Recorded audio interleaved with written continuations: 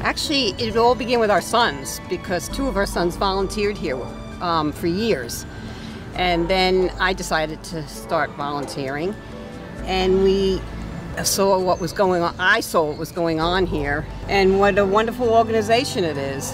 Uh, so we started, I think we sponsored our first dog in 2008. 10, yeah, about 10 years, 10 years ago. ago. So it was our way to give back to uh, the community. Well, I'm, I, think say, about 14. Yeah, probably about 12 or 14 dogs, yeah. And uh, we have our sons involved now. When you see how these dogs are cared for, and, and they, they, they're so meticulous about who they place them with, and I can't think of a, it's a great organization. another foundation yeah. that we would but you know, we've gone to the, a couple of the graduation, and it's very emotional to watch uh, the dogs get uh, oh. graduate with the people who need them. So it, it, gives you a great feeling that uh, you're helping. You're helping a lot of people.